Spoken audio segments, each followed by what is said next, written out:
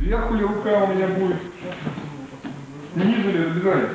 А он сопротивляется, он идет не по силе, не вращается, не сюда, где что я уже ожидаю. Может, крутись в ту, сторону. Я ему и буду помогать. Вот, Голову покручу. Я вам показал на, на старшем еще. А он поворачивается вот сюда, против. Вы должны поработать сразу переход, прием, который не получается, на что-то более агрессивное и активное. Не надо, я вам говорю, зацикливаться на приеме.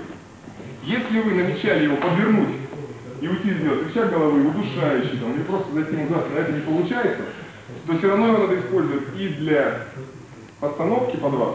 Вот я его хотел подвернуть под вас, а он начинает двигаться, сопротивляется. Силой сюда напрягается. Так вот, не надо пересиливать его ломать, а надо ему помогать. Я вам показывал, как э, реакция от э, плеча.